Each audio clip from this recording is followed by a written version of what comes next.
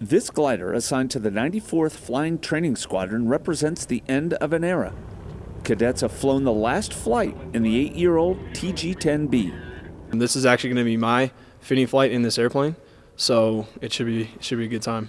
This fleet of gliders average 1,000 hours of flying time. When you factor in the stress of acrobatic flying, it adds up quickly. For us, these, uh, these airplanes are basically out of hours, they're out of time. These instructor pilots teach other cadets to fly at the busiest visual flight rules airfield in the nation. They are responsible for the safety of each flight they command, and they've gained valuable experience along the way. That's where a lot of the leadership happens is up in the air when you're physically flying the airplane or trying to teach someone who has almost no flying experience how to fly. The squadron is getting new aircraft to teach the next generation of Air Force leaders. Still, this fini flight is not without a little reflection it's a bittersweet moment for me because I've flown these planes for a couple of years now and absolutely love them, and they're going to be gone, so this is their last flight. John Zanone, the United States Air Force Academy.